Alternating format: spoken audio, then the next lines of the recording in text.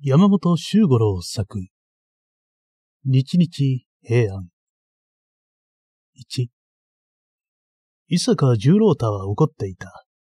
まだ憤懣の収まらない感情を抱いて歩いていたので、その男の姿も目に入らなかったし、呼ぶ声もすぐには聞こえなかった。三度目に呼ばれて初めて気がつき、立ち止まって振り返った。道のすぐ脇の平らな草原の中に、その男は座っていた。松林と竹やぶに挟まれた狭い草原で、晩春の火がいっぱいに当たっている。浪人者と見えるその男は、座って着物の襟を大きく広げて、青白く痩せた、ひすばったような胸と腹を出していた。さがやきもひげも飲み放題だし、赤じみた着物や袴は継ぎはぎだらけで、ちょっと本当とは思えないくらい、おは内からした格好である。年は28か9であろう。顔は青黒く、頬はげっそり落ちくぼんでいるし、顎は尖って骨が突き出ているように見えた。呼んだのはあなたですか？そうです。と、その男はうなずいた。ちょっと、お願いがあったものですから。十郎太はそっちへ戻った。相手の男は左の手で腹、その剥き出しになっているを撫でながら、右手に持っている抜き身の脇差しをひらひらさせた。もちろん、切腹をしようとしているのだということは明らかである。けれども、十郎太は気がつかなかった。彼の頭は、まだ怒りのためにいっぱいで、他人のことに関心を持つ余地などなかったのである。要は何ですか？えへん。と、その男は、また脇差しをひけらかし、それから、ちょっとこびた目で、十郎太を見た。誠に申しかねるが、返しをお持ちなら、少々お分けくださるまいか？十郎太は黙って懐から返しを出した。相手はそれを受け取ると、礼を言いながら素早くその紙で、抜き身の七三のあたりを巻いた。十郎太はそれでも用はないと思ったのだろう。そのまま道の方へ去ろうとした。そこで男は慌てた様子で、後ろからまた呼び止めた。その、誠になんですが、その、まだ何か用ですか？ほう、実はその、と、男は言った。ご覧の通り私は、切腹しようと思うのですが。そうですか。と、十郎太が言った。そうなんです。と、男が言った。それで、あれです。実に恐縮なんですが。解釈をしてくれとでも言うんですかそうです。つまり、その男はうなずいた。もし、願えたら、解釈をお頼みしたいんですが。いいでしょう。十郎太は戻ってきた。その男は十郎太を見た。十郎太は刀をさえごと取り、作業を外してたすきにかけた。それから静かに刀を抜き、鞘を草の上に置いて身構えをした。その男は明らかに狼狽し、泣きそうな顔になった。あなたは本当に解釈するつもりなんですか？本当にとは十郎太が聞いた。だって、そう頼んだんでしょう。それは、頼んだことは頼みました。男が言った。けれども、だからといって、そうあなたのように、そう安直に何されるというのは、ちょっと私の方としてどうかと思いますね。どうかとはどう思うんです。どうと言その、と、男は口ごもった。それは多少その、不人情だと思うんですが。ああ、そうですか。十郎太はうなずいた。それなら私はごめんこむって行きましょう。私は急ぎのためなんで、実はそれどころではないんだ。そして、刀に拭いをかけて、鞘を拾って収め、たすきを外して作業につけた。その男はその様子を不安そうに眺めながら、もっと不安そうに聞いた。すると、あなたは言ってしまうわけですか？十郎太は黙って刀を腰に刺した。私を置いてですか？と、男は言った。切腹しようとしている私を置いて、その理由を聞こうともせずに行ってしまうんですか？では一体、どうしろと言うんです？十郎太は少し感触を起こしかけた。ここに至って男は度胸を決めたらしかった。彼はもう、居直ったという表情で言った。あなたのお人柄を見込んでお願いします。私は幸福で死にそうなんです。すいませんが、ご所持の中から少し拝借させてくれませんか？金ですって。十郎太は眠りから覚めたような目で相手を見た。するとあなた、そのために切腹しようとしているんですか？手っ取り早く言えば、そうなんです。それはどうも。十郎太は相手の姿を眺め、まだ納得がいかない顔つきだったが、懐へ手を入れて紙入れを探した。私もそうたくさんは持ってはいないが、これから江戸まで帰るもんですからね。しかし。懐には紙入れはなかった。彼は首を傾けながら寮のたもとを探し、ちょっと待ってください。と言って、背負っていた布を解いて調べ、小さな財布を見つけて、また首をひねった。彼がその財布をはたくと、中から骨部印が一つと若干の分線が出てきた。彼はいぶかしげに眉をしかめ、はてな、とつぶやいた。今朝、あの宿で払いをするときに、こうつぶやきながら、上目遣いにじっとどこかを睨んだ。どうかされたんですか？ちょっと待ってください。と、十郎太は記憶をたどった。ちょっと考えてみるから。十郎太はよく考えた。そうしてやがて、紙入れは、おじの家に忘れてきた。はじめから持ってこなかったということを思い出した。しまった。なんというバカなことを。わかったんですか？戻らなければならない。十郎太は手のひらにある銭を見ながら言った。戻るなんてごばらだが、これでは江戸まで行けやしない。これでは三日の道も行けやしない。よかったですね。今思い出して。と、男が勇み立つように言った。もっと先まで行ってからだと大変でしょう。お屋敷はどちらですか？十郎太は城下町の名を告げた。ほう、それなら、十里とちょっと戻ればいい。と、男は言った。はい川で泊まれば、明日の午前中には戻れますよ。まったく世の中には何が幸せになるかわからないようなことがあるものですな。一つ、私も一緒に行きましょう。あなた一緒にですか？乗りかかった船ですよ。と、男は襟をかき合わせ、脇差しを鞘へ収めた。不思議な縁で、こうしてお知り合いになって、あなたがそんな立場に立っているのを黙って見過ごすほど、私は不人情な人間じゃありませんからね。それはやがてわかりますよ。ええ。しかし、ともかく、と、男は立ち上がりながら言った。ともかく、向こうの茶店で何か食べるとしましょう。まず、食っての相談と言いますからね。その男は、すっかり陽気になっていた。2その男は嘘は言わなかった。その男は、私は不人情な人間ではない。と言ったが、間もなくそれが事実だということを証明した。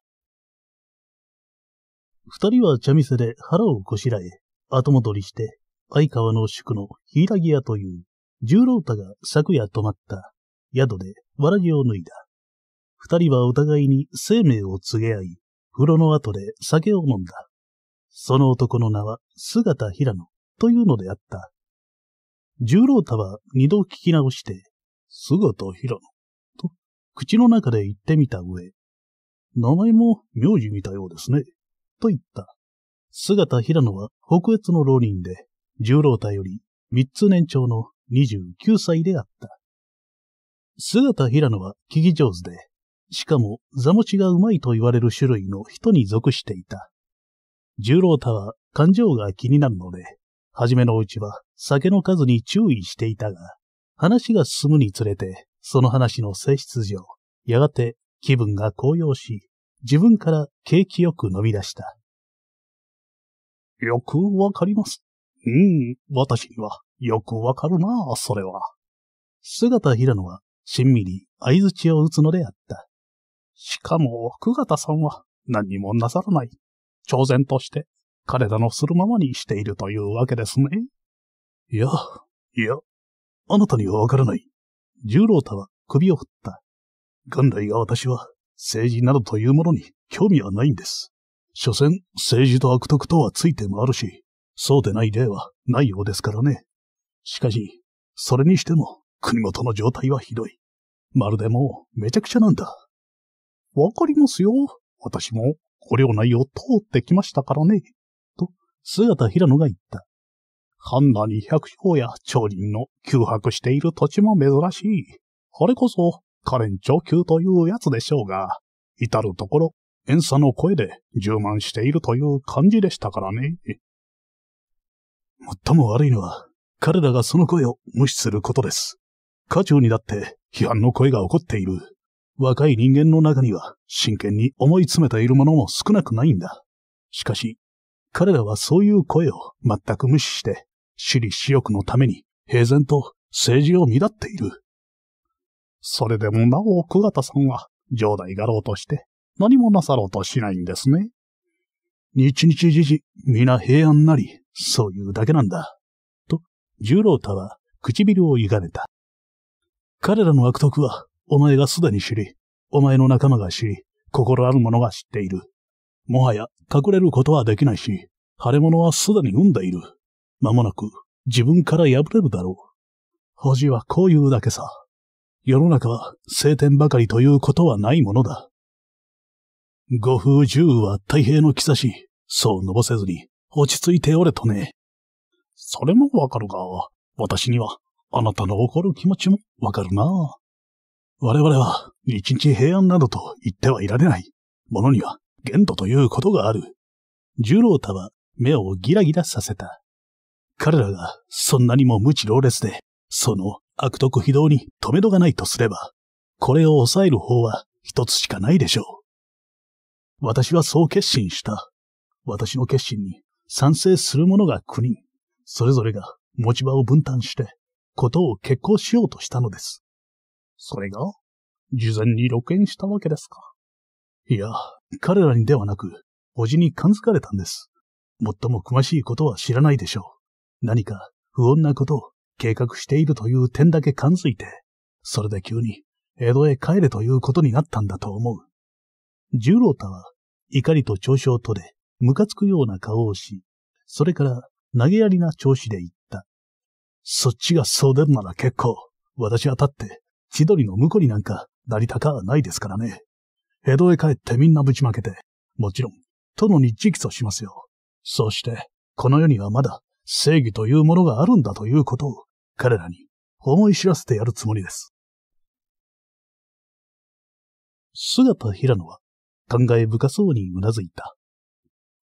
風呂へ入った時、姿平野は十郎太のカミソリを借りて、酒焼きと髭を剃ったから、今、彼の顔はさっぱりと清潔に見える。もう酒も随分飲んで相当に酔っているはずなのだが、その顔は赤くならず、むしろ平静に冴えてゆくようであった。彼は十郎太の話をよく吟味するかのように、しきりと思いふけりながら鼻毛を抜いた。右手の親指と触手の先端で巧みに鼻毛をつまみ、くいと引っ張って抜くのであるが、抜いた途端に、彼は大きなくしゃみをした。失礼しました。と、姿平野は言った。これが物を考えるときの私の癖でしてね。どうも失礼。それから、抜いた鼻毛を眺めながら続けた。これは私の器用かもしれませんが、まあ、多分器用だろうと思うんですが、そういうことだとすると、あなたがこのまま江戸へ帰られるのは、私としてはどうかと思いますね。どうかとは、どう思うんです。どうかと言って、その、と、姿平野は口ごもった。そんな状態だとすると、久方さんが故郷に立つことになりはしませんかあなたは江戸へ帰って、殿に直訴して、もしそれが成功するとすれば、上代画廊としての久方さんの責任も追及されるでしょう？それよりも、私はその前に、幹物どもが作謀して、罪を久方さんになすりつけるような。無論、これは杞憂だと思うが、幹物どもとしては、そのくらいの暴略はやりかねない。私は、そのことを心配しますね。すると、どうしろと言うんですか？私が言わなければならないでしょうか？姿平野は十郎太の顔を見た。同時に姿平野は頭の中で考えていた。俺はこの機会をものにしてやるぞ。彼は行き詰まっていた。こんな放浪の苦しみはもうたくさんである。わずか一食の銭を得るために切腹の真似をしなければならないところまで来ては、どん詰まりだ。ここはぜひともこの単純そうな男を城下へ連れ戻して、人騒動を起こして手柄を立てさせ、ついでに俺も仕官するという手だ。仮に仕官ができなくとも、相当な礼金はくれるだろう。俺は絶対に、この鶴は離さないぞ。と考えるのであった。というと、つまり、と、十郎太が言った。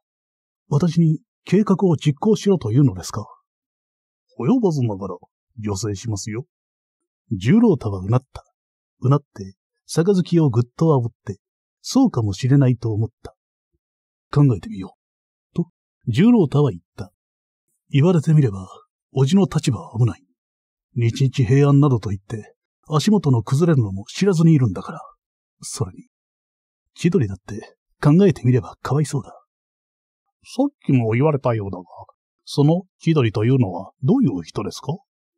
おじの一人娘ですよ。と、十郎太は言った。私は婿養子になるはずで、三年前にこっちへ呼ばれてきたんです。五条代の婿養子。つまらないことを言いました。十郎太は首を振った。もう切り上げるとしましょうか。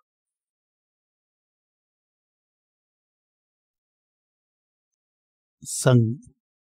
枕を並べて寝ると、姿平野はたちまち眠り込んでしまった。食べたいほど食べ、飲みたいだけ飲み、暖かいヤグに入ったのだから無理もない。横になるとすぐ、いびきをかいて熟睡した。十郎太はしばらく寝つけなかった。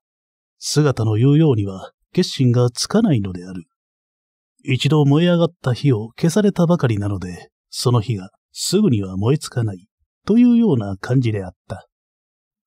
はの、黒藤玄太夢、と彼はつぶやく。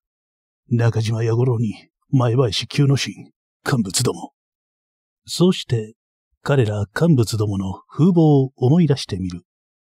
黒藤玄太夫は52歳の自責画廊、中島弥五郎は45歳で留守役定石、前林久之進は50歳で国本陽人。これらが反省を読する中心人物で、中んずく黒藤と中島とがその主会であった。無論十郎太は彼らを知っているし、その風貌もありありと目に浮かぶが、同時に、日々平安などというのんびりしたおじの顔が見え、自分を江戸へ追い払ったことなども頭に引っかかって、どうにも闘志が湧いてこないのであった。とにかく戻ってからのことだ、と、十郎太はつぶやいた。嫌なら紙入れだけ取って江戸へ帰ればいい。戻ってみた上で腹を決めよう。姿平野はいい心持ちそうに眠っていた。明くの日の十時頃、二人は城下町へ向かって宿を立った。十郎太は江戸へ追放されたのも同様だから、夜にならなければ町へは入れない。相川の守護から城下までは五里足らずで、早く宿を立つわけに行かなかったのである。心配した感情の方は払えたけれども、後にはわずかしか残らなかった。それで握り飯を作ってもらい、宿を出るとすぐ裏道へ曲がった。街道を行って、もし家中の者にでもあっては悪いからである。丘を越えたり、畑の間を抜けたり、途中の山陰の泉の湧くところで握り飯を食べたりしながら、石鉢山まで来たが、まだ時間が余った。そこは山といっても高さ150尺ばかりで、城の東北にあたり、城下町がすぐ前に眺められる。二人はそこで日の暮れるのを待った上、夜の8時頃に町へ降りて行った。石鉢山の方から入ると、武家屋敷の裏に行き当たる。久我岳は大手筋の東賀辻というところにあり、その構えは30軒に40軒ばかりの広大なものであった。北面に正門、西に馬入れの門、三方に追事塀を巡らし、南側の堀に沿った一方だけ黒く塗った柵になっていた。柵の内側は杉の深い林で、その杉林が邸内の半ばを占めている。追事塀の外からもそれらの小杖が高く、黒々と夜空を抜いているのが見えた。十郎太は堀に接した追事塀の端まで行き、そこから柵の方を覗いた。堀は両岸を石で組んだ幅二軒ばかりのもので、かなり豊かな水が音を立てて流れている。風のない暖かい夜で、サーサーというその水音が杉林にひっそりと反響していた。ここから入るんだが、と、十郎太が柵の一部を指さした。あなたも入った方がいいでしょう。人が通って見つかるとうるさいから。姿平野はうなずいた。柵の一本が動くようになっている。多分、粛清派の仲間が密かに出入りしたのであろう。姿平野はそんな風に想像しながら、十郎太のやり方を真似て柵の中へ入った。ここで待っていてください。一応様子を見てきます。十郎太はそう囁いて、杉林の中の踏みつけ道を向こうへ去った。姿平野は待っていた。あたりは真っ暗で、湿った空気は重たく杉の匂いがした。俺は逃さないぞ。姿平野は口の中でつぶやいた。俺は逃さない。この鶴は決して逃さない。あの男をそそのかして、必ず物にしてみせるぞ。上代画廊の婿とくれば本筋だからな。うん、そうやすやすと見逃せるもんじゃないさ。四半時以上も時間が経って、どうしたのかと思っているところへ、十郎太が戻ってきた。暗いのでよくわからないが、荒い呼吸や落ち着かない動作で、彼の広く興奮していることが姿平野に分かった。あなたの予言が当たりました。十郎太は言った。どうか、こっちへ来てください。相談に乗ってもらいたいことがあります。姿平野は黙って十郎太について行った。黙ってついて行きながら、彼は心の中でほくそ笑み、閉めたの？と、つぶやいていた。あなたの心配されたことは、器用ではなかった。と、十郎太は歩きながら言った。幹物どもは、急に逆手を打って、昨夜この屋敷へ踏ん込み、おじをどこかへ拉致したそうです。兄弟画廊、その人ですか？今、この屋敷は、彼らの手で抑えられ、おばと千鳥も一室に監禁されて、一味の者に見張られているというのです。多分、それは、と、姿平野が言った。伊坂さんが江戸へ帰られたのを誤解したんでしょうな。自分たちの悪事を江戸へ報告に行ったという風に。こっちです。静かにしてください。杉林を出た左側に大きな建物があった。その向こうに馬屋があると見え、馬たちの鼻を鳴らす声や地面をかく歪めの音が聞こえた。十郎太はこちらの大きな建物の中へ姿平野を連れ込んだ。それは、マグサ小屋であった。中へ入って軌道を閉めると、甘酸っぱい干し草の匂いでむせそうになった。こいそ、と、十郎太が支えいた。どこにいる？返事はなかったが、干し草の山の陰から袖で提灯を隠しながら一人の娘が出てきた。十八ばかりの小柄な体つきで、目鼻立ちのちまちまとした怒りも賢そうな顔をしている。十郎太は彼女を、千鳥の次女、小磯です。と言って、姿平野に引き合わせた。小磯は、二人の前でもう一度話した。菊井六郎兵衛という大目付の方が式で三十人ばかりの人が来ました。と、小磯は言った。昨べのちょうど今頃で、旦那様は将の力様とご対談中でした。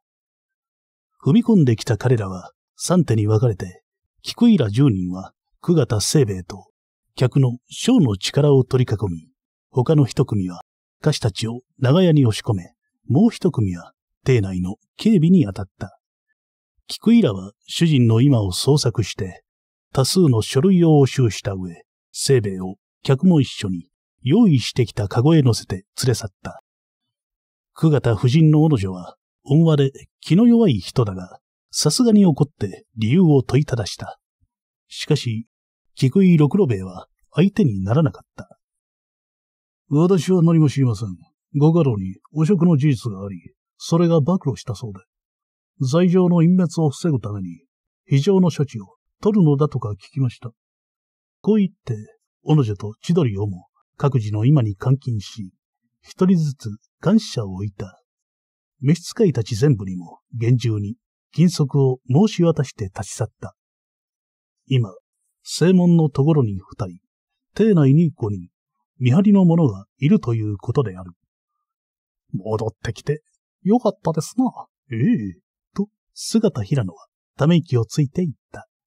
私があなたを呼び止め、あなたが紙入れを忘れたことが分かった。そのためにこういう、その、気球存亡の場合に間に合うことができた。いや、全く、世の中には何が幸せになるかわからないようなことがあるものです。4. 夜半を過ぎたであろう。小磯の運んできた握り飯を食べ、茶を飲みながら二人は対策を練っていた。事態は急を要する。黒藤ら一味の謀略が完成する前に、ことを挽回しなければならない。十郎太は焦った。けれども、姿平野は落ち着いていた。彼らは久方清兵衛を拉致し、居宅から書類を押収していった。これは何が目的であるか、と姿平野は考えた。菊井何がしは汚職の事実が暴露した、と漏らしたそうである。多分自分たちの悪事を久方城代になすりつけるつもりだろう。そうするには、いくつかの方法が想像される。罪状隠滅を防ぐ非常の処置とは、実は罪状を城代に転嫁する工作で、最悪の場合は自白書を供与した上に、城代の命を縮める、自害という形式で、という手を使うかもしれない。そうだ。こんな思い切った手段を取る以上、それくらいのことは予想しなければならない。と、姿平野は考えた。死人に口なし、もし生兵衛が強要されて自白書を書けば、彼らは生兵衛を生かしてはおかないだろう。いや、初めからそのつもりで、非常処置なるものを取ったのかもしれない。そうだ。確かに、それに相違ない。心の中でうなずきながら、姿平野は鼻毛を抜いた。右手の親指と触手で、巧みに鼻毛をつまみ、呼吸を測ってクイッと脱ぎ、そうして大きなくしゃみをした。失礼しました。と、姿平野は言った。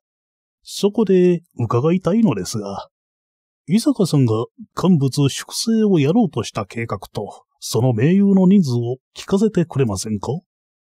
十郎太は旅能を開いて一通の封書を見つけ、中から巻いてある紙を取り出した。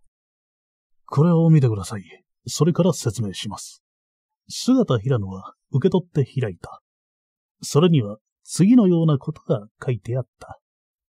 切り込み隊式、伊坂十郎太、寺田文治、馬回り七十石、安川栄之助、勝目付け五十石余り、川原源内、同三十五国。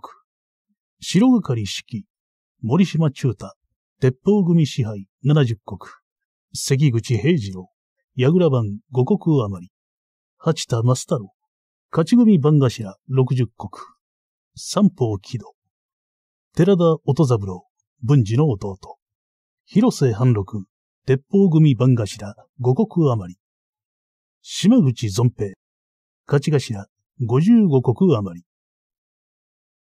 この連盟には欠板が押されてあり、関心中殺の首位が書いてあった。切り込み隊は各分担の幹物を切る。と、十郎太は説明した。木戸というのは、城下町三方の口を押さえ、城係は大手、西、絡めての三門を固める。こういう手はずで、各組とも30人から50人の部下が集まる予定でした。なるほど。と、姿平野が言った。なかなか、これは、行き届いたものですな。ええ。そして、彼はまた、じっと考え始めた。久方状態は、自白書を書くだろうか。一日平安などというのんきな人だから、高をくくって書くかもしれない。と、姿平野は考えた。しかし、すぐには書くまい。いくらのんきこじにしても、二日や三日は粘るだろう。子供ではないのだから、それを書けばどうなるかぐらいの想像はつくはずだ。これは彼らが自白書を強要するとしての話だろと、姿平野は考え続けた。この連盟者のうちから、と、やがて姿平野が言った。腕出し者で最も頼みになる人間を5人選んでください。腕が立つといえば、まず切り込み隊の三指揮者ですね。寺田安川川原。それから関口平次郎と寺田文治の弟の音三郎でしょうか。その人たちがあなたと共にことを図った名誉だということは彼らに知られていると思いますか？そんなことは絶対にないでしょう。計画を感づいたのはおじだけですから。なるほど。と、姿平野は言った。では一つ夜明け前に、その五人をここへ呼んできてもらいますかな五人をここへですか？姿平野はうなずいて、結局存亡の場合です。と言った。十郎太はすぐに決意した。危険ではあるが、ことは切迫している。それが必要なら、そうしなければなるまい。こう思って身支度をした。姿平野は慎重にやるように念を押して、なお、矢立と漁師を求めた。十郎太は旅能の中からそれらを取り出して渡し、黒い目出し頭巾をかぶって出て行った。さて、これで一は決まった。と、後に残った姿平野は一人でつぶやいた。俺は真面目にならなければいけない。自分を栄養ぶったり、結出した人物だ、などと思ってもいけない。俺は単に腹の減っている浪人者だった。そうではないか切腹の真似までして、一食の銭にありつこうとしていた人間だ。決して英雄でもなければ大人物でもない。わかるか？そうして、片手で尖った顎を撫でた。今は軍師の位置についたのだ。これはもう確かなことだ。あとはこのヘボ頭からどれだけの知恵が出せるか。しかも、ごく短時間のうちに。これが問題だ。これだけが問題だ。一つ考えてみよう。彼は提灯を除いた。ろうそくは夜食の前に変えた。まだ十分にある。彼は干し草の束をいい具合に直し、矢立てから筆を抜いて、漁師をそこへ広げた。するとその時、不意に引き戸が開き、明るい提灯の光が差し込んだ。そこにいるのは誰だ？こう言って、提灯を掲げて、一人の侍が入ってきた。おそらく黒藤一味の見張り役であろう。邸内に五人いると言ったが、その一人に違いない。姿平野はびっくりした風で、素早く自分の提灯を倒して消した。は、はい、私は、と、彼は怒鳴った。私は、馬屋係のこ、小物でございます。こんな時刻に何をしているのだはい、そ、それが、今、まぐさを。何？はっきり言ってみろ。侍は、こっちへ近寄ってきた。今自分、まぐさをどうするんだ貴様、うろんな奴だぞ。姿平野は、おどおどと立った。侍は、こっちへ来い。と叫んだ。姿平野はますます恐縮し、身を縮めてそっちへ行った。侍は提灯を上げて、免停を調べようとした。その時、姿平野の右手が伸び、侍の花柱、目と目の中間を発しとついた。侍は、のけざまによろべ、提灯を手から飛ばした。姿平野は飛びかかって、もう一度花柱を叩き、足絡みをかけて押し倒すとともに、襟を取って締め落とした。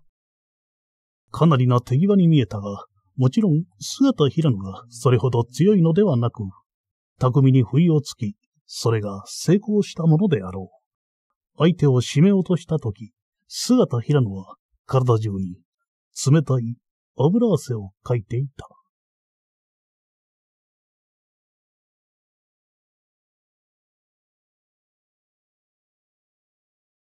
5約2時間の後、マグサ小屋の外に人の足音がした。姿平野が引き戸の隙間から覗くと、暗がりの中にこっちを伺っている黒い人影が見えた。伊坂十郎たらしい。姿平野はそっと引き戸を開けて名を呼んだ。ああ、無事でしたが、と十郎太が寄ってきた。中が真っ暗だもので何かあったのかと思いました。おりましたよ。しかし、そっちの守備は。みんな来ました。十郎太は後ろへ振り返って手を振った。そして、暗がりから現れた五人の若侍と一緒に、素早く小屋の中へ入って引き戸を閉めた。火打ち袋を出してください。姿平野が言った。さっきちょいとしたことがあって、提灯を消したんです。おお、そこに人間が転がってますから気をつけてください。五人の中の一人が火打ち袋を出した。姿平野は出来事を語りながら提灯をつけ、それで片隅を照らしてみせた。後ろ手に縛られ、猿靴輪をかまされて、二人の侍が転がっていた。手を縛ってあるのは、彼ら自身の刀の下げを出し、口に詰め込んだのは干し草であった。二人ともすでに息を吹き返し、恐怖の目をいっぱいに見張って、こちらを見上げていた。二人もですか？と、十郎太が言った。別々にですよと、姿平野が答えた。第一号はそっちの痩せた方で、こっちのは半時ばかり遅れてきたんです。きっと第一号が見回りに出たまま戻らないので、探しに来たんでしょうな。すると、また来るかもしれないな。そうありたいもんです。と、姿平野が言った。小型夫人と霊場についているのが二人。ここに二人とすると、門を監視している二人の他に、邸内にもう一人いるはずですからね。こいつが探しに来てくれれば、ずっと手間が省けるわけです。みんな抑えるつもりですか？それが第一着手です。しかし、そちらの方々に紹介していただきましょうか。十郎太は彼を五人に引き合わせた。寺田文治とその弟の音三郎はよく似ていた。兄よりも音三郎の方が背丈も高く、筋骨もたくましいようだが、むっとした顔立ちや、切り工場な言葉つきなどはそっくりであった。川原源内は、やや超えた小柄な若者で、目や口元に愛想のいい微笑を称えているが、その微笑はむしろ短気で、手の早い性分を表しているように見えた。安川栄之助は、色が黒く、目が大きく、毛深いたちと見えて、口の周りから顎から両の方まで、怖いザラザラした髭が生えていた。彼は毎朝、きちんとカミソリを当てるが、日が暮れる自分には、もうそんな風に伸びるのだそうで、夜になって人と会う時などは、夕方、もう一度反らなければならないということであった。関口平次郎は、ふっくらとした丸顔で、好人物らしい可愛い目をした、まだ子供っぽさの抜けない若者だった。こいつら、切っちまったらどうです？紹介が済むのを待ちかねたように、川原源内が微笑したまま、二人の捕虜を指さしながら言った。よ、待ってください。姿平野は首を振った。その二人には何の罪もないし、自分でしていることの意味も知ってはいない。また、その二人に限らず、今度のことでは、できる限り、殺傷沙汰は下げることにしましょう。切るのは三種会だけということですか？いや、その三人もです。と、姿平野が十郎太に言った。法の裁きなしに人を切れば、こちらに利があっても、咎めなしには済まない。幾人かの者は責任者としている、それは覚悟の上ですよ。寺田文治が遮って言った。我々は初めから神命を捨ててかかっているんです。しかし、不必要に死ぬことはない。それはいけないんだ。と、川原源内が言った。そういう考え方をするから、敵に先手を取られたんだ。あいつらは法を無視し、不義無道、平然とやっている。藩中の非難の声にも、領民の愛想にも耳を貸さない。もはや、力で倒す他に手段がないから我々はやるんだ。やるべきことは断固としてやろうじゃありませんか。しかし、不必要に死ぬことはない。こう言いながら、姿平野は頭の中で考えていた。これは、抑えなければならない。もしここで殺傷沙汰を起こせば、後で必ず責任を問われる。まずく行けば、切腹ぐらいはしなければならなくなるかもしれない。そうすると、自分の目的もどうなるかわからない。この班に士官しようという本来の望み。それはもう確定的だと思う。が、危なくなる。ここでなんとか、この連中の決起を抑えなければダメだ。こう考えながら彼は言った。なぜ不必要かというとですね、彼らはすでに自分の首に縄を巻きつけている。私どもは、ただその縄の端を捕まえればいいんです。もっと具体的に言ってください。彼らは、久方さんを拉致した。と、姿平野は言った。もちろん、おそらく罪を久方さんに転嫁するつもりでしょう。処刑も伊坂さんから聞かれたと思うが、幹部どもは押収していった書類を悪用し、久方さんを脅迫して、罪状の告白書を書かせるのだと思う。そこで、私どもが久方さんを奪い返せば、それだけで彼らの罪は暴露するわけです。奪い返せますか？難しいな。安川栄之助がゴリゴリと顎の髭をさすった。これが久方さんを取られない前ならいいが、何しろ、久方さんという人質を握られているからな。いや、まあ、聞いてください。こうなんです。姿平野は自分の計画を語った。敵は、伊坂十郎太が江戸へ行ったものと信じている。そこで、十郎太は江戸へ行ったのではなく、城下にいて同志を集め、関心謀殺の密謀を巡らしている。某日某国、一宮某所で会合を開いている。ということを敵に知らせてやる。敵は必ずその某所へ押し寄せるだろう。その隙にこちらは、久方清兵衛を奪い返す、というのであった。しかし、と、関口平次郎が言った。我々が密会しているということを知らせて、果たして彼らが引っかかるでしょうか無論、内定させるでしょう。と、姿平野は言った。だから、ここにいる6人と、他の4人、森島八田、広瀬、島口の処刑も一緒に姿を隠す。つまり、全部がここへ集まるんです。彼らは密告された10人の在費を内定するでしょう。そして、全員がその家にいないとすれば、某所で集合しているという密告を信ずるだろうし、即時に一網打尽の手を打つに違いないと思う。どうでしょう皆さん。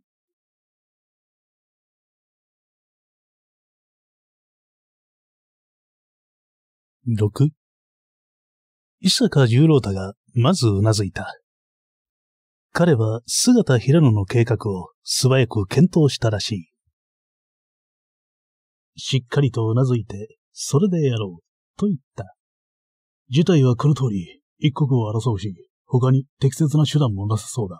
この一手でやることにしようじゃないか。姿平野は他の者の様子を伺っていたが、誰にも依存はないようであった。そこで彼はみんなに座るように頼み、自分の計算を書き留めた漁師を開いて、これからの行動を詳しく説明した上、その担当者を定めた。その1は、邸内に残っている5人の見張りを捉え、桑田清兵衛の所在を白状させること。その2は、森島中太、広瀬半六、八田正太郎、島口存平らを呼び集めること。その3は、密告状を投じて、敵の動きを監視すること。などで、第1は即座に7人全部が協力してやり、次に手分けをして、第2、第3をやる、という順序であった。この相談がほぼ終わった時、小屋の外にひたひたと乱れた足音がし、久坂様？という女の声が聞こえた。姿平野が提灯を隠し、みんな総立ちになった。十郎太はつぶてのように飛んで行き、引き戸を開けて外を見た。二人の女がすぐそこまで走ってきてい、その後ろから幾人かの侍。一人が提灯を掲げて追い詰めてくるのが見えた。夜明けが近いと見え、空がぼかしたようにほの白くなり、そうして小雨が降っていた。そのごくほのかな薄明かりで、走ってくる女の一人が恋そ、もう一人が千鳥であるのを十郎太は認めた。寺田、来てくれ。と、彼は叫んだ。奴らだ。そして、外へ飛び出した。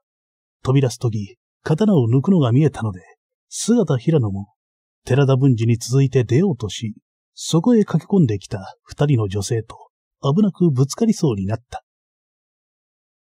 この人たちを頼みます。出ないでください。彼は残った四人にそう怒鳴って、寺田文治の後を追った。追ってきたのは三人で、姿平野がそこへ行った時には、すでに一人は倒され、他の二人も十郎太と文治の前に動けなくなっていた。大丈夫ですか？姿平野は、はせつけながら聞いた。気にはしないでしょうな。大丈夫です。十郎太が答えた。声を立てるなよ。寺田文治は、刀を突きつけたまま、相手に言った。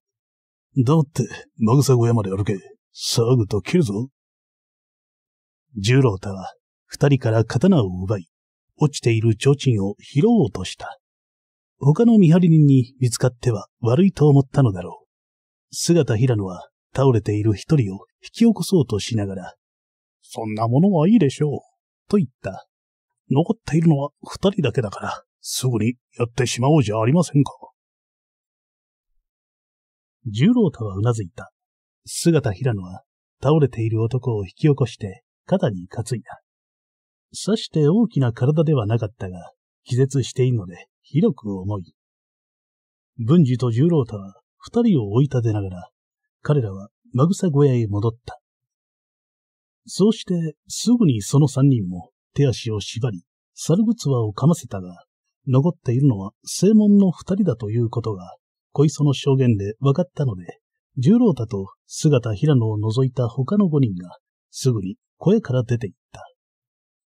五人が出て行くと、十郎太は提灯を持って千鳥のそばへ行った。千鳥は干し草の束に腰をかけ、小磯に持たれて泣いていた。さあ、話してごらん。どうして逃げ出したんだ？十郎太が言った。千鳥は涙を拭きながら十郎太を見た。十郎太はそこへかがんだ。一人は事情を語り出した。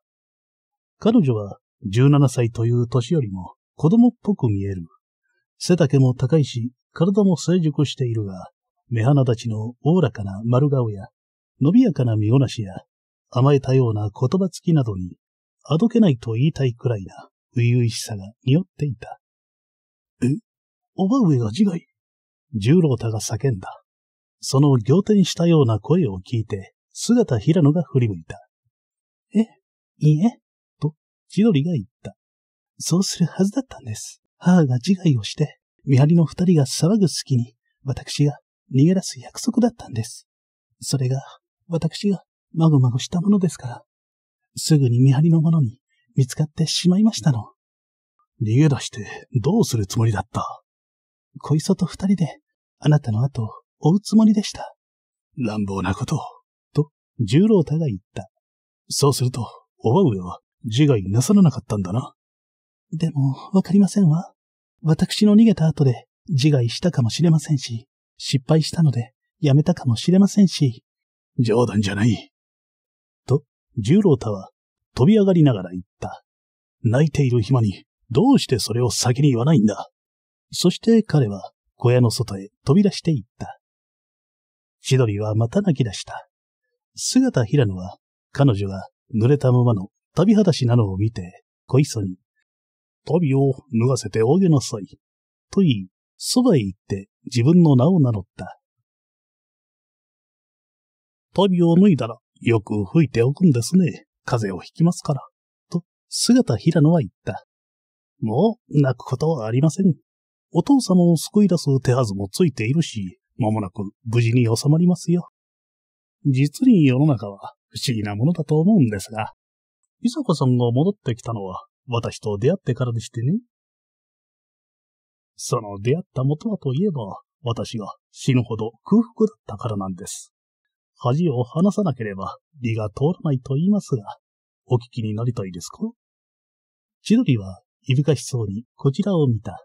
その目には涙が溜まっていたが、姿平野の話を聞いているうちに、目鼻立ちのおおらかな顔が自然とほぐれ、十郎太が本気になって解釈しようとした、というところまで来ると、あどけない唇に微笑が浮かんだ。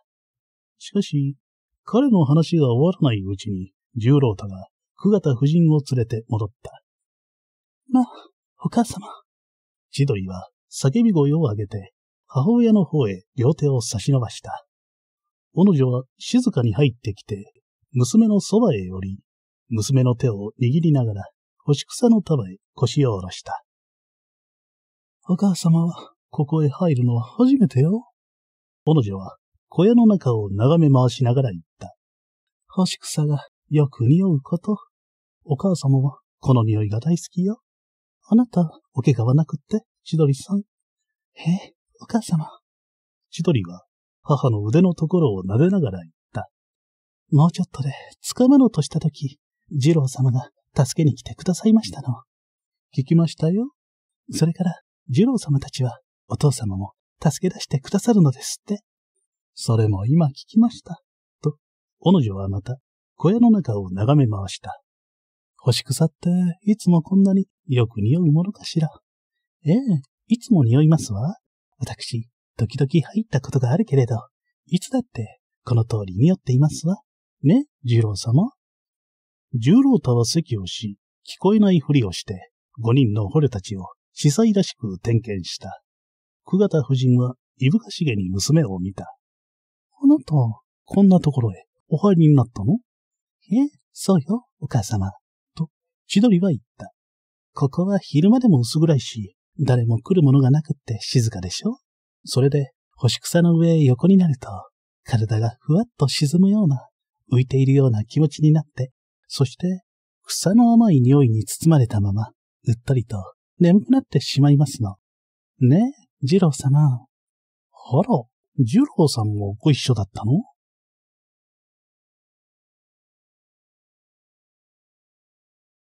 7。ええもちろんよ、お母様。千鳥はうなずいた。向こうでまた、十郎太が席をしたが、彼女は続けた。私、鳥でなんか来られやしませんわ。いつでも連れてきていただきますの。一度なんか、私、二郎様のお腕を枕にして、本当に眠ってしまったことがありますわ。もう、切れた。花田そうして、起こされるまで、およってらしたんでしょいいえ、お母様。あそこ、いくら千鳥だって。姿平野は戸惑いをした。母親も娘ものんびりしたものである。この切迫した状態の中で、男性と二人きりで、干し草小屋へ隠れたなどと、平気で告白する娘も娘だし、それを聞いてそう驚きもせず、格別叱ろうともしない母も母である。育ちは違うんだなぁ。と、姿平野は思った。これはのんびりどころではない。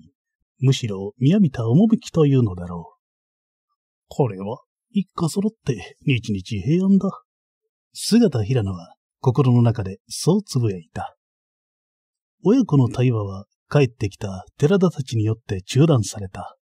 彼らはやや強い降りになった雨の中を守備よく捉えた正門の二人を引いて戻った。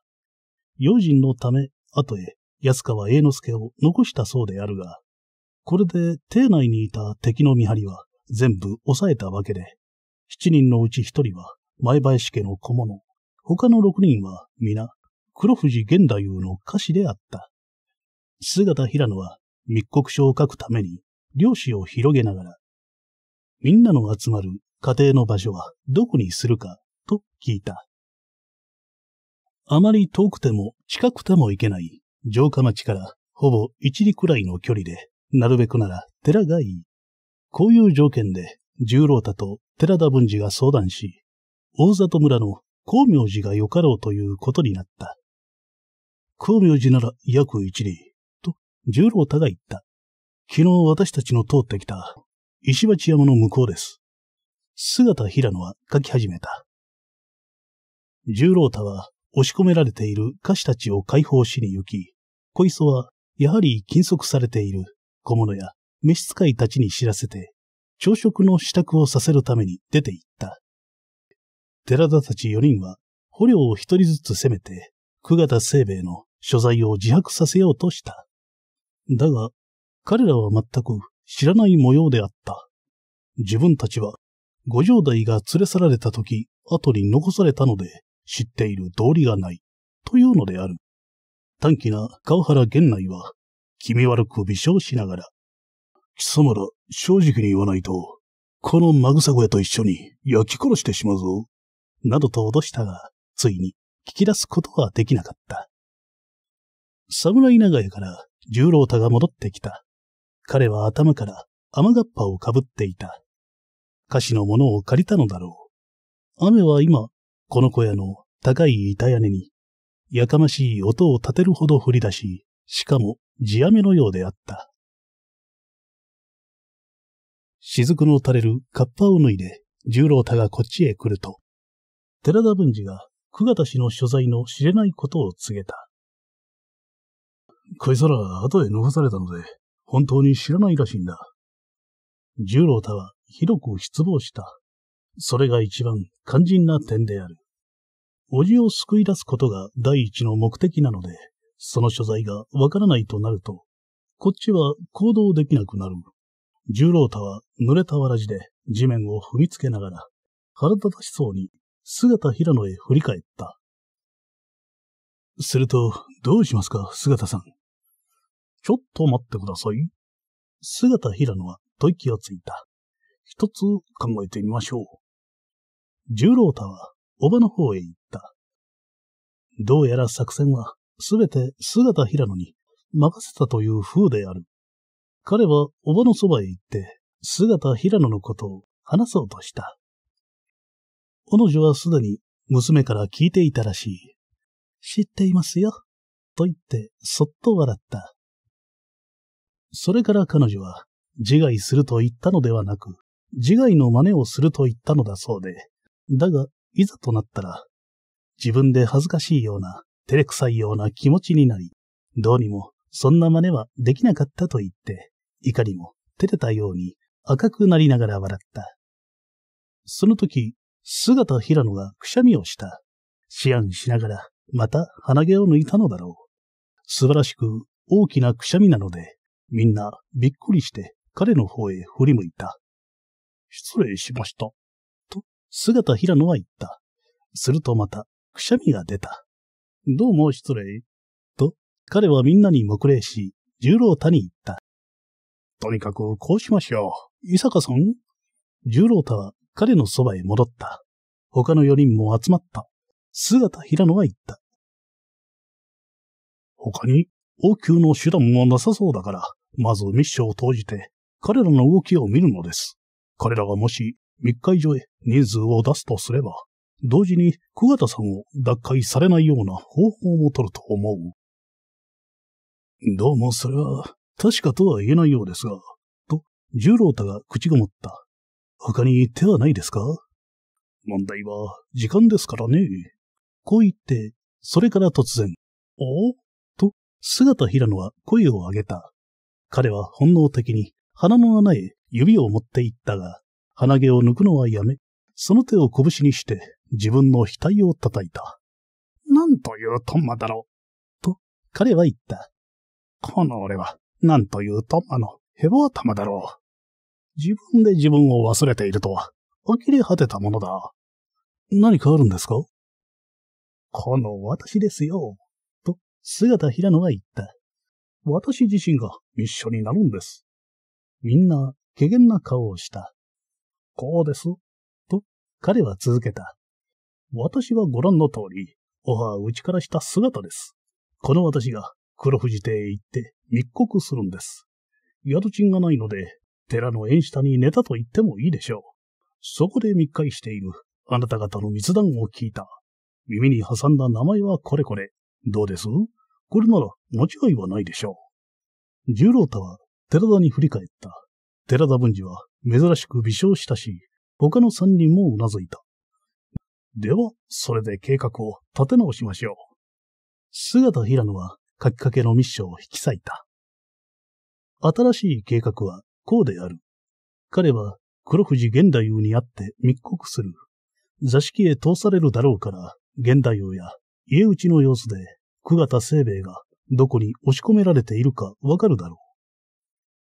もし他の場所だったら、自居して出て知らせるし、邸内にいると分かった場合には、乱暴だが、火をかけて火事を起こす。その煙を認めたら、十郎太たちが踏み込んでくる、という手順であった。姿平野は、これを二度繰り返して説明し、みんなはよく了解した。待機する人数は20人。その時の条件で、どっちへでもすぐ動けるように、三老神の屋敷の中間にあたる、日の見の辻へ伏せておき、三老神それぞれの屋敷に見張りのものをつける。最後に、相当の時もできる限り人を障害しない。ということが約束された。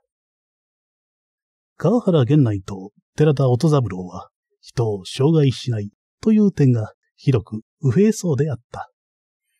やむを得ない場合はいいですよ。姿平野は譲歩した。ただし、その時でも足くらいにしておいてください。これは、あなた方自身のためでもあるんですからね。小磯が朝食の支度のできたことを知らせに来た。久方夫人はここで食べたいという。マグサ小屋がすっかりお気に召したらしい。それでは握り飯にして持ってこようということになった。私は食べずに出かけます。姿平野はこう言って小磯を呼び止めた。かなり空腹ですが、空腹の方が放浪者らしく自然に見えるでしょう。一つ捨てるようなボロガセと放火用の綿を頼みます。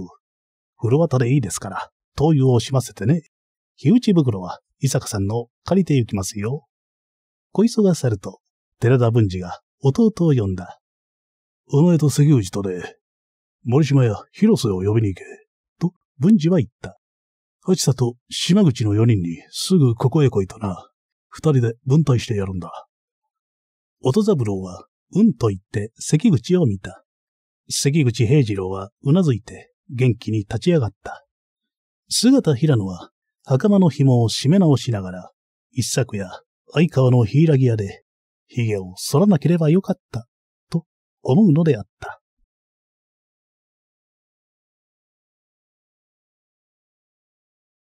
八、約半時の後、姿平野は黒富士邸の庭先に立っていた。かなり広い庭で木が多く排石の模様などもなかなか凝ったものである。ツツジに囲まれた池があり、そこでは鯉が産卵期なのだろう。しきりにバチャバチャと騒いでいた。作法を知らぬ奴だ。これで大抵人間がわかる。彼は心の中でそうつぶやいた。だが、それは公平ではない。彼の姿は古事記と区別がつかなかった。島目もわからないほど古びて継だらけの赤じみた着衣。破れたボロ傘。すねまで羽の上がったわらじばきの泥足。これでは庭へ回れというのが当然かもしれない。それは姿平野も認めるが、しかも、やはり承服できない。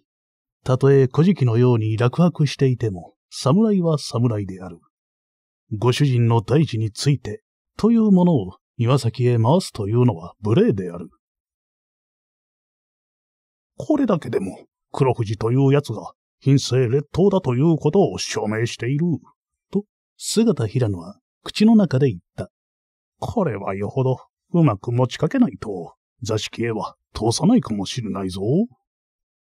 廊下へ白髪頭の老人が現れた。少しばかり腰が曲がっている。着物も粗末だし、袴はしわくちゃであった。一目でカフだということがわかる人定で、まさしくその通りだった。そこで姿平野は本気に腹を立てた。私はご主人に会いたいと申し上げた。と、彼は尖った声で言った。ご主人のお命に関わる大事だから、わざわざ参ったので、ご主人に会えないのなら帰ります。何？こっちはどうでもいいことなんだ。彼は雨の中へ出て行こうとした。カフは慌てて呼び止めた。一命に関わるというのを聞き捨てにはできないだろう。しばらく。と言って曲がり気味の腰をもどかしそうに奥へ去った。姿平野は唾を吐いた。それからふと自分が本当に腹を立てているのに気がついた。真実、黒藤現代のために来てやったような錯覚に囚われたらしい。姿平野は、なんと、と、つぶやいて苦笑した。小物が専属の道具を持ってきた。カフが現れて奥へ通れという。姿平野は足を洗い、袴の裾の羽を払い、肩から旅能を取り、刀を出して右手に持ちながら広縁へ上がった。案内されたのは六畳ばかりの暗い部屋であった。そこで形式だけの茶化が出た。薄くてぬるい茶にカビの生えたような内物である。姿平野は茶を一口すすっただけで、あとは手を出さなかった。彼は両手を膝に重ね、心を沈めて、脇玄関から庭、広縁からその部屋へ来るまでの建物の配置を頭の中に書き留めた。四半時ほども経ってから若侍が現れて、こちらへ、と言った。姿平野はちょっと考えたが、旅能の脇へ刀を置いて立った。中廊下を少し行き、一度左へ曲がって八畳の明るい座敷へ通された。そこはさっきの庭とは反対側に面しているらしい。開けてある障子の向こうに石灯籠などを配した内庭を隔てて土蔵が見棟並んでいる。多分、どこだろうと思ってぼんやり見ていると、真ん中の土蔵から中年の侍が出てきた。その侍は手かごのようなものを持っていたが、出てくるとそれを下に置いて、土蔵の観音開きを重そうに閉め、それから今置いた手かご用のものを持って雨の中を飛ぶように去っていった。彼がぼんやりとそんな景色を眺めているところへ黒藤玄太夫が出てきた。年は四十三子、超えてはいるが、引き締まった精悍な体つきだし、眉の太い、目の大きい、厚い唇をきつく結んだ顔つきも精悍に見えた。現代は座ると同時に開始を出し、カッと喉を鳴らして唾を吐いた。その時、六時を知らせる時計の音が聞こえた。現代は話を信じた。その顔の表情の変わったことで、話を信じたことが明瞭に分かった。いさかと言いましたか現代は膝の上の手をぎゅっと握った。そんなはずはないのだが、名前は何と言いました？名は言わなかったようです。何しろ縁の下で聞いていたものですから。と、姿平野は言った。後から来た一人が、江戸へ行かれるのではなかったのか？聞いていましたが、これは寺田という男のようでした。他に聞かれた名がありますか？うろ覚えですが、そうです。広瀬、島口、それから、と、姿平野は首をひねった。安田、いや、安川でしたかな？寺田というのは二人いたようです。それと、関口とか、八田などという名も聞こえました。記憶違いがあるかもしれません。呼び合う声で数えたのは15人でした。現代優の片方の膝が上下に動き出した。すると、と、現代優が言った。つまり、伊坂が江戸へ行くと見せて、光明寺へとどまり、そこへ同志の者を呼び集めたということですね。私の申し上げた生命にお心当たりがありますか？ある。全部ではないが、三子心当たりがある。では、人をやって、在不在を確かめてください。と、姿平野は言った。私は、彼らが手分けをして、小なた様をはじめ、中島、前林のお三方を中殺すると聞いたのですから、現在その連中が家にいなければ、事実だということがお分かりになるでしょう。現代優は、鈴を鳴らしながら聞いた。彼らは日時を申していたか昨夜藩の話で、あさってと言っていましたが、今日の夜にはさらに人数を集めるように聞きました。若侍が廊下へ来てかしこまった。現代は漁師と綴り箱を持ってくるように命じ、それが来ると、姿平野に聞きながら、九人まで名を書き、この者たちの財布を至急に確かめさせろ。と言って、若侍に渡した。はなはだ、観覧の至りですが、と、姿平野が言った。昨日から食事をしておりませんので、誠に申しかねるが、朝食の地層に預かりたいのですが。現代はこちらを見てうなずき、今、支度をさせるから、と、立って言った。9まもなく、若侍が戻ってきて、また元の六条へ彼を連れ戻した。そうして食前を出されたが、麦ばかりのようなどす黒い飯に、冷えた味噌汁と漬物だけで、その汁にも千切り大根のかけたのが三つしか入っていなかった。姿平野はまた腹を立てた。食い残しじゃないか。と彼はつぶやいた。なんという無礼な、ケチくさい家だろう。だが、空腹には勝てない。腹を立てながら食べ終わったが、この間に家の中がざわざわし始めた。表廊下をしきりに行き来する足音や、人を呼び立てる声などが聞こえた。もう俺のことなんぞほったらかしか。そうだろうな。と、姿平野は独り言を言った。それなら、こっちは一つ。彼はしばらく物音を聞き定めてから立ち上がって、そっと中廊下へ出た。久方城代がここに監禁されているかどうか。いるとすれば、どの辺の座敷か。中廊下の左右を眺めた。人の来る様子はない。彼はさっきの八丈間の方へ歩いて行った。そちらが奥でずっと座敷が続いているらしい。だが、内庭の見えるところまで来ると、不意に右手の襖が開いて、中年の侍が顔を出した。誰だ？と、その侍はこっちを見て、それから仰天したように怒鳴った。貴様、何者だ？手洗いに参りたいのだが。何？手洗いだと？相手は出てきて、掴みかかりそうな勢いで叫んだ。貴様、どこから入ってきた？こんなところで何をしている？これ、渡辺、渡辺はいないか？その侍のわめき声で、向こうから若侍が飛んでき、それが渡辺というのだろう。彼のことを説明した。中年の侍は納得したが、むやみにやる気もあっては困る。と言い、若侍に手洗い場へ案内しろと命じた。広く物々しいですな。姿平野はこう言いながら若侍の表情を盗み見た。何か奥に秘密でもあるようじゃありませんか？今、客が来たのです。若侍は答えた。ご老職がお二人、何かご内談があるようですから、こちらです。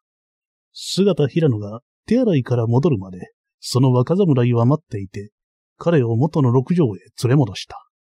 食前はそのまま置いてあり、茶を持ってくる様子もない。確かに、あの奥の方に何かある。彼はこう思った。無論、それが直ちに、久方の存在を示すものではないかもしれない。そうだと考えるのは早がてんだろうが、あの中年の侍の仰天したような素振りから察すると、確かに何かあると見ていいように思えた。来客の二郎職とは、中島弥五郎と前林旧の神に違いない。そして、現代夫が二人を呼んだのは、寺田たち九人の者が不在であること。したがって、大里村の光明寺に、徒党が集合しているという密告が信じられたことを証明するであろう。彼らは、打ち手を出すに相違ない。姿平野は少し焦り出した。彼らが光明寺へ、打っての人数を出したら、すぐにこっちの行動を始めなければならない。それにはぜひとも、桑田氏の所在を探知する必要があった。あの三老職の話が聞ければいいんだが、と彼はつぶやいた。三人の階段の席へ出られれば、何か糸口がつかめるだろうが。彼はその他に手段はないと思った。そこで、まだ言い残したことがあるから、と言って取り次ぎを頼もうと決心したとき、折よく一人の若侍が入ってきた。これは、あの渡辺という男よりずっと若く、不愛想な膨れ面で大きな手かこを持っていた。お済みになりましたか？と、若侍は言った。よろしければ片付けます。食前を下げに来たのである。済んだと言うと、手かごをそこへ置き、食器をその中へ入れた上、禅を持って出て行った。姿平野は取り次ぎを頼もうとはしなかった。彼は目を半眼にし、少し口を開けて壁の一部をじっと見守っていた。これは盲人だ、と彼はつぶやいた。歯の中年の侍が土蔵から出てきたとき気がついていいはずだ。そうではないか歯の手かごが食器を運ぶためのものだということは、たった今、分かったのだからな。姿平野は手をすり合わせた。さっき中庭を隔ててみた情景が、ありありと目に浮かんでくる。身胸並んだ土蔵の真ん中のそれから、中年の侍が手かごを持って出てき、後を閉めて雨の中を立ち去った。その手かごは、今目の前で見たのと同じもののようである。正しく、中年の侍は、土蔵の中へ食事を持って行ったのだ。これは盲人だ。と、姿平野はつぶやいた。そして、ニヤニヤと微笑した。どう運のいい盲人だ。幸福な盲人と言ってもいいかもしれない。あとはただ一つ。打ち手を出したことが分かったら、一つ。その部屋には、六尺の戸棚があった。彼はそっとそのからかみを開けてみた。上下の段にきっちりと布団が重ねてある。客用のではない歌手たちの使う予備のものらしい。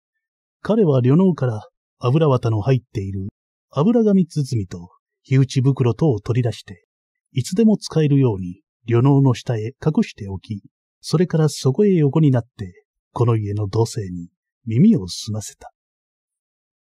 約半時ばかり後、裏手と思われるあたりで、馬を引き出す気配や、多数の人々の立ち騒ぐ物音が聞こえた。馬もかなりな頭数らしく、稲鳴きや蹄の音が、右往左往するようであった。姿平野はじっと横になっていた。廊下を足音が近づいてきて、この部屋の襖を開けるものがあった。それでも姿平野は動かなかった。旅能を枕にして、じっと眠ったふりをしていた。襖はすぐに閉まり、足音は廊下の向こうへ行った。やがて、牙の者たちの出て行くのが聞こえた。重々しい蹄の音が一体になって、この屋敷の外右から左へ回り、そうして、たちまちのうちに遠く、はるかに遠く消え去った。姿平野は起き上がり、包みを開けて油綿を出した。彼は用心深くやった。火打ち石は戸棚の中で打ち、油綿をよくほぐして、両端に火をつけた。火はなかなか燃えつかなかったが、油紙へつけてやると燃えついた。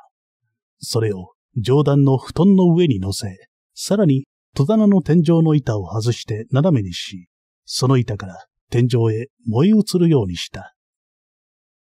油紙は景気よく炎を上げ、油綿もくすぶりながら赤い炎の下をチロチロと広げた。戸棚の中はたちまち油臭い煙で充満したが、その煙は天井の板を外した穴へ、すいすいと吸い込まれてゆく。姿平野は、その日が板に移って天井へ燃え尽くのを待っていた。だが、突然襖が開いて、おと叫ぶ声がした。さっき寝ているのを見に来たから、そっちの方は安心していたので、襖の開くまで人の来たことに気がつかなかったのである。どうしたんです？その煙は。姿平野は、からかみを閉めながら振り返った。部屋の中にも思ったより多く煙が漏れていた。その煙越しに、渡辺という若侍の立っているのが見えた。何です？火事ですか？こう叫びながら、若侍が入ってこようとした。姿平野はそこにある刀を取り、引き抜いて相手の前へ突きつけた。声を立てるな、と彼は言った。こっちへ入って、その襖を閉めろ。騒ぐと、切るぞ。若侍は、卑怯のように飛び起き、火事だと絶叫しながら廊下を走っていった。姿平野は煙にむせながら刀の作業を外してたすきにし、袴の猛立ちを絞った。戸棚の中では天井板のパチパチと焼け外れる音がし、からかみの隙間からは濃密な煙が溢れ出てきた。彼は火打ち袋と旅能を持って、コンコンと咳きながら廊下へ出た。廊下の左手から三人ばかり、血相の変わった侍たちが走ってきた。姿平野は右へ、奥座敷の方へ走り、中庭へ飛び出した。三人は追ってこなかった。火事だ火事だとか、水だ水だという叫び声が聞こえる。もちろん、火を消す方が大事だろう。姿平野が石灯籠のところで振り返ると、屋根と日差しの間から灰色の煙が吹き出して、雨の中へとたなびき流れるのが見えた。これならわかるだろう。彼は煙を眺めながらつぶやいた。雨が邪魔だが、このくらい煙が上がれば、外から見えるに違いない。廊下は人の駆け回る足音や、わめき叫ぶ声で揉み返している。姿平野は土蔵の方へ振り返った。すると、例の真ん中にある土蔵の前に中年の侍がいて、観音開きを開けようとしているのが見えた。姿平野は、お、お、と言って走り出した。疑う余地はない。彼らは大事出退と見て、その中にいる人物をよそへ移すか、またはその場で片付けるつもりだろう。姿平野は走りながら、旅能と火打ち袋を投げ出し、待て、待て、その蔵に手をつけるな、と叫んだ。相手はこっちへ振り向いた。そして、さっと飛び抜いて刀を抜いた。姿平野は踊りかかった。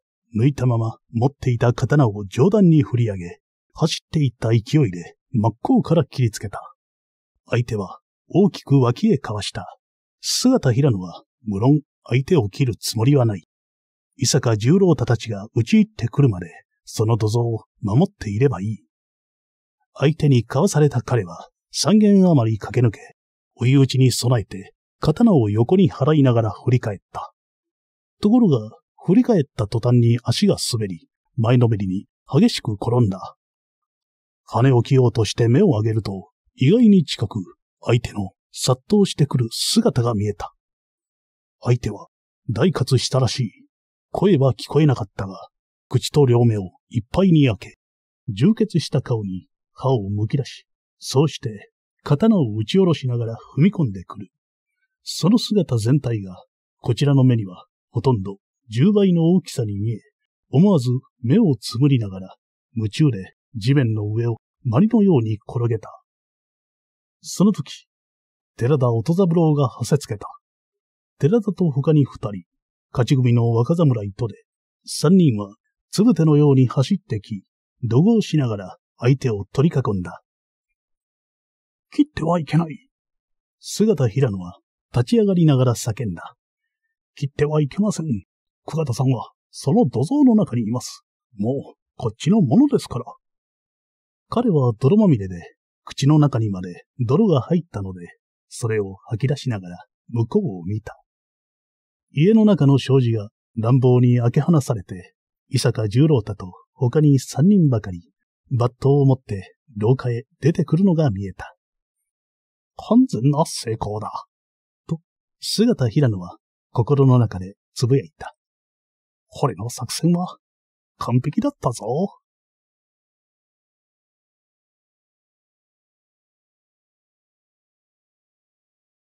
十。まさしく、姿平野の作戦は成功した。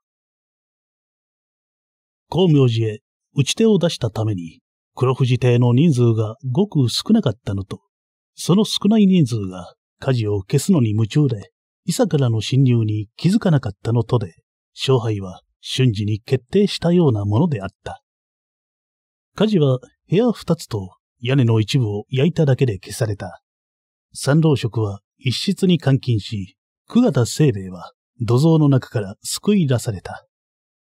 光明寺へ行った打ち手に対しては、武者押し、演習という触れ出しで、鉄砲組、槍組、勝ち組の人数をすぐに差し向け、彼ら三十機の引き返してくるところを、石鉢山の切り通しで捉えた。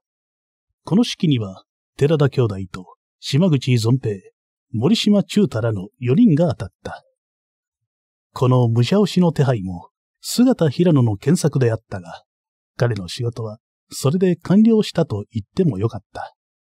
十郎太が彼を久我太郎に引き合わせたとき、彼は謙遜で品位のある態度を示した。いや、私の力ではございません。と、姿平野は言った。伊坂さんたちご一同の団結した力と幸運に恵まれたおかげです。私の作戦など、取るに足らぬものでございます。それから彼は、泥まみれの火打ち袋を十郎太に返した。十郎太は不審そうに、それを指でつまんで受け取った。拝借した火打ち袋です。と、姿平野は言った。汚したままで失礼ですが、勘弁してください。黒富士邸を閉鎖して、菓子小物には禁足を命じた。中島、前林らの居宅にもそれぞれ手配をし、三老職は城中へ護送した。こうして、さて、久方清兵衛らが屋敷へ引き上げようとしたとき、みんなは姿平野のいないことに気がついた。手分けをして邸内を探してみたが、彼はどこにもいなかった。どうしたんだ？十郎太はあっけに取られていった。一体、これはどうしたことだ？十郎太は呆然と雨空の向こうへ目をやった。姿平野は脱走したのであった。彼は雨の中をしょんぼりと歩いていた。江戸へ行く道とは反対の方向へ向かって、彼は黒富士邸の庭で一度捨てたあの破れ傘を差していた。片方の手には泥まみれで空っぽの旅尿を下げ、足にはやはり黒富士邸で突っかけてきたちびた古下駄を履いていた。彼は疲れている上に広く空腹でおまけに眠かった。これは虚栄心だかもしれない。歩きながら彼はつぶやく。本当は虚栄心か、偽善かもしれない。俺はそうではないと思う。俺はそんな風には思いたくない。あの火打ち袋、泥まみれの火打ち袋を拾って返したとき、こんな気持ちになったのだ。あれを伊坂に返したとき、伊坂がいぶかしそうな顔をして、二本の指でつまんで受け取ったとき、俺の中で何かが起こった。何かが。ちょっと、口には言えないが、ともかく逃げ出すのは今だ。たった今、ここから逃げ出せ。という気持ちだった。彼の腹の中で妙な音がした。その音が何を意味するかは知るものぞ知るであろう。彼は情けないような顔をして、ぐっと生唾を飲んだ。いや、虚栄心じゃない。これは、虚栄や偽善じゃない。良心の問題だかもしれない。と、姿平野は続けた。俺は、恥ずかしいような、照れくさいような気持ちになった。そこが不思議なんだが、いや、俺には不思議でもなんでもない。このヘボ頭から絞り出した作戦が、あんなに見事に成功したということは恥ずかしい。作戦を立て、自分が行動している間は良かった。心身とも爽快に緊張していたが、作戦が完全に成功し、一つの層もなく全てが完了したとき、そうだ。俺は錯漠と恥ずかしくなり、いたたまれなくなった。どうしてそこにいられるか。ことが完了した以上、俺は余計な人間じゃないか。あとは、そうだ。はっきり言おう。あとは、俺の功績が計算される番だ。俺は、それを願っていなかったろうか。俺は初めから、それを願っていた。俺は初めに、この鶴は離さないぞと思った。俺はその鶴を物にして仕官するつもりだった。万事が完了したとき、それがはっきりと浮き上がってきたんだ。となれば、俺の両親としてそこにいられる道理がない。これは、侍の両親の問題だ。疲れ切って空腹で死ぬほど眠いにもかかわらず、姿平野は高邁な感情に包まれていた。精神もすがすがしく爽やかであった。もっとも腹の中のことは別である。腹の中ではもうずっと前から全く違う声が彼を非難していた。くうくうくう、この虚栄心の強い偽善者め。と、その声は言うのであった。貴様、空腹のあまり、切腹の真似までしたじゃないか。何が侍の両親だ。貴様は十分に役立ったし、士官は確実に目の前にあった。くう、くう。そう、戻れ。すぐ十郎太のところへ戻れ。士官するのは照れくさいのなら、約束の金だけでも借りろ。あの男の紙入れの中には、お前に約束した金があるんだ。そう、戻って行け。頼むから、戻ってくれ。お願いだから。と、腹の中の声は続けるのであった。こんなに空腹で、無一物で、どうするんだ。俺は嫌だぞ。こんなに腹ペコで、何が公米だ。俺は嫌だ。嫌だ、嫌だ、嫌だ。いやい、この、何か食わせろ。いやい、何か食わせろ。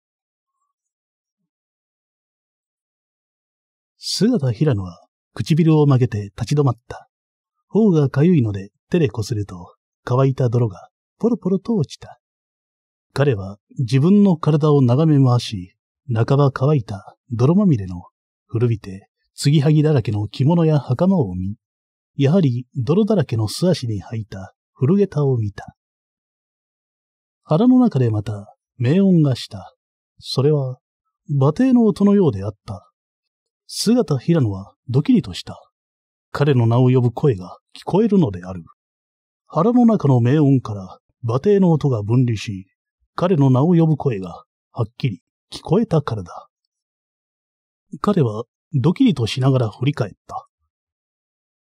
伊坂十郎太が馬を飛ばしてきた。傘もカッパも着ず、鞭を上げて懸命に飛ばしてきた。馬蹄の上げる雨水のしぶきが、その時ほど爽快に、また、頼もしく見えたこと、姿平野にとってはなかった。どうか、戻ってください、姿さん。乗りつけた馬から飛び降りると、伊坂十郎太は懇願するように言った。いや、わかっています。と、十郎太は息を弾ませながら言った。あなたがどうして立ち去られたが、私にはよくわかっています。しかし、それはいけません。あなたのお気持ちはあっぱれだが、それでは、私どもが困るのです。あなた方がお困りになる。保持に怒鳴られたのです。と、十郎太が言った。今度のことで、あなたに藩の内紛を知られてしまった。藩の内紛を知られたからには、このまま姿さんをよそへやるわけにはいかない。ぜひ戻って任官されるか、脚本としてとどまってもらわなければならない。すぐ手分けをして追いつけと言われたのです。姿平野は心の中で我知らず叫んだ。ありがたい。これで堂々と帰れるぞ。